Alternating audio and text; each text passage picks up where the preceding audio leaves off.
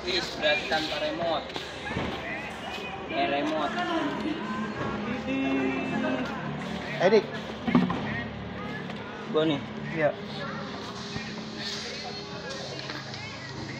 terus si cuk start